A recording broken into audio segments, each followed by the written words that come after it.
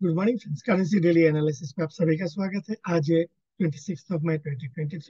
Dollar index अभी है 102 104.20 सो यहाँ पे हमें और थोड़ा देखना है। हालाँकि मोमेंटम वाइज अच्छा खासा अप मूव दे रहा है एंड रिवर्सल का एज ऑफ़ नाउ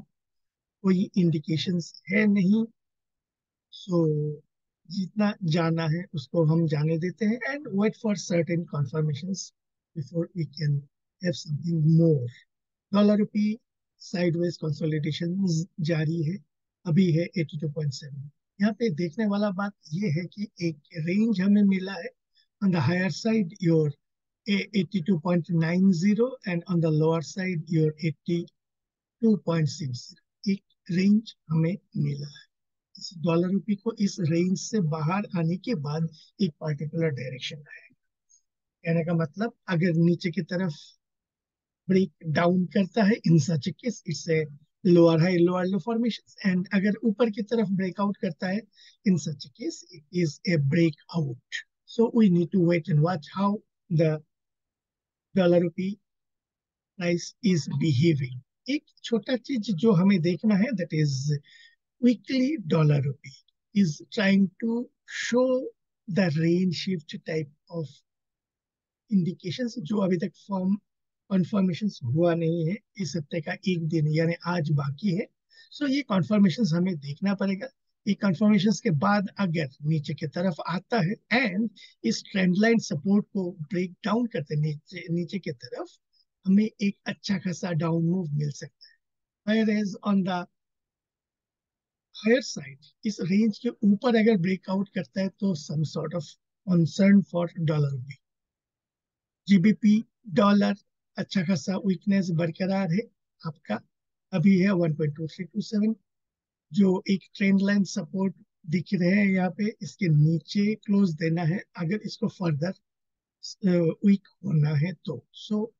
इंतज़ार रहेगा और थोड़ा प्राइस एक्शंस का। जीबीपी आई आईएनआर में भी अच्छा खासा वीकनेस देखा गया अच्छा खासा सेल ऑफ़ था करेंटली एट 101.93 सो इमीडिएट जो नीचे की तरफ़ जो एक माइन्यूट सपोर्ट हो सकता है, वो है आपका 101.25 से 101.30 के बीच। यूरो यूएसडी इसमें भी वीकनेस बरकरार है, जैसे कि इसमें एक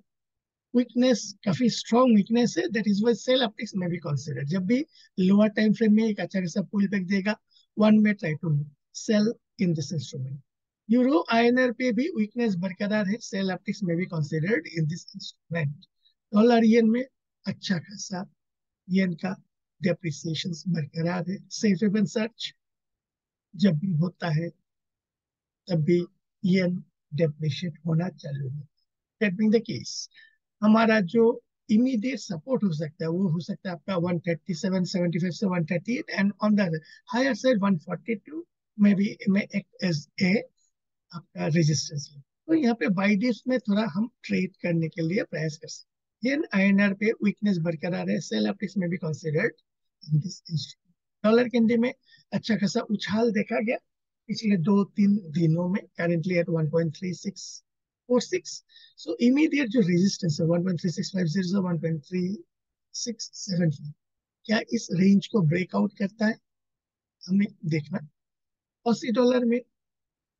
वीकनेस बरकरार है, जैसे कि हमारा एक्सपेक्टेशन था, ये जो रेंज है रेंज के ब्रेकआउट के बाद, एक अच्छा खासा equal amount of up move या डाउन मूव हम देख सकते हैं। अगर ऊपर की तरफ़ ब्रेकआउट करेगा तो आपको नीचे की तरफ़ ब्रेक डाउन करेगा तो डाउन मूव जैसे कि हम देख रहे थे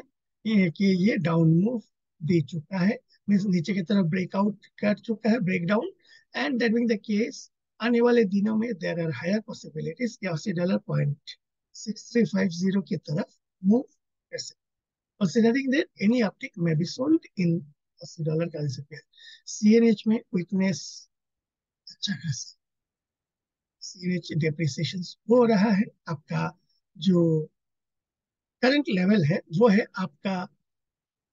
three seven point zero eight immediately हमें जो रेजिस्टेंस मिल सकता है, वो है सेवन पॉइंट तो यहाँ पे अच्छा खासा वीकनेस है? एंड इसी का एक प्रेशर हमें डॉलर रुपी में एक्सपेक्ट कर सकते हैं। यूके ऑयल कल एक अच्छा खासा सेल ऑफ़ देखा गया परसों ये नेकलाइन के ऊपर मीन्स स्ट्रॉन्ग क्लोज दिया था, लेकिन कल ड्रॉप डाउन किया। One of the reason is that Saudi Arabia OPEC plus में ऑयल प्रोडक्शन को कट करने के लिए एक कॉन्सेंसस क्रिएट करना चाहते थे, जहाँ पे रशिया ने ओपनली डिक्लाइन डिक्लाइन किया कि हम कोई भी कट के लिए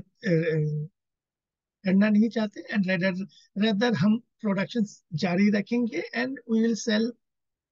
crude oil whatever best prices we are getting and उसके बाद एक सो अभी ये जो नीचे की तरफ़ एक ट्रेंड लाइन है, इसकी लो के नीचे, अगर जैसे चलता है तो हमें एक और सेल ऑफ़ एक्सपेक्ट कर सकते two ten year treasury three point eight one जो रेजिस्टेंस सो यहाँ पे आपका इमीडिएट जो रेजिस्टेंस बैंड हो सकता है, वो है आपका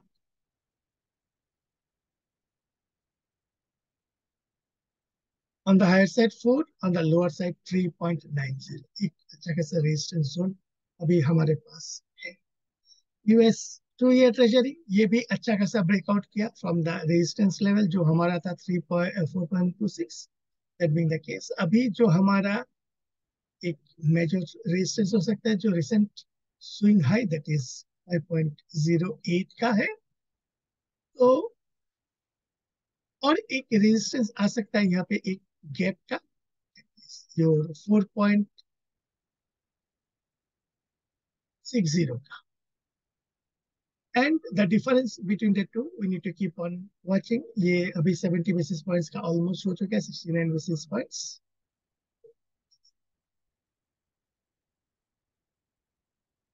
seventy two basis points का लगभग एक के डिफरेंस यानी ये जो डिफरेंस है ये इंक्रीज हो सो ओवरऑल मार्केट इंतज़ार कर रहा है एक पार्टिकुलर डॉलर इंडेक्स रिलेटेड जो डेट रिलेटेड जो इम्पास चल रहा है, उसको क्लियर हो जाने के लिए आशा करता हूँ कि बाई मंडे या ट्यूजडे क्लियर हो सकता है। सो करेंसी डेली एनालिसिस अभी के लिए इतना ही। आशा करता हूँ ये प्रेजेंटेशन आपको अच्छा लगा होगा। लाइक कीजिए कमेंट कीजिए।